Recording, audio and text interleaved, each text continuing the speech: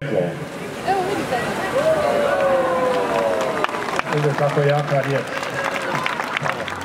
Pali smo prvu adventsku svijeću, e, pred nama je čini se advent bogatiji nego ikada.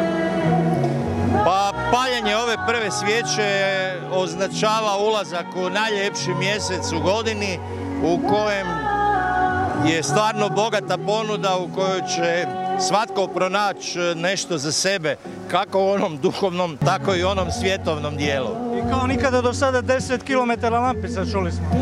Pa ove godine je postavljeno puno novih lampica, glavnina na našoj rivi gdje su sva stabla e, ukrašena lampicama, e, nešto se još e, na Korzu poboljšalo, e, na Trsatu, na Gradini također dodatni, dodatni sadržaj. E, Vjerujem da će ove godine advent biti e, ljepši nego prošla i prošli je bio jako lijep.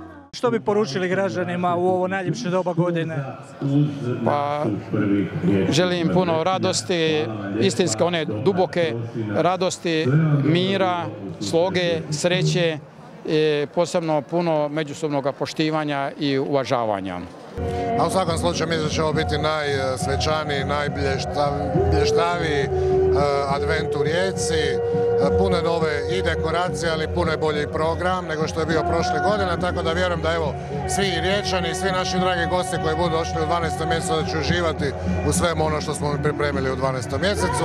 Riječke ugostitelji prezentiraju svoju kreativnost, svoju posebnu ponudu na nekoliko kućica i vjerujem da će evo svi koji budu došli upravo na trg Riječke Zalucije, da li na Korzo, da li na Teslavsku gradinu, morsko klizalište ili tu, u adventu tunelima, naći nešto za sebe i uživati u svakom slučaju u ovom predivnom mjesecu.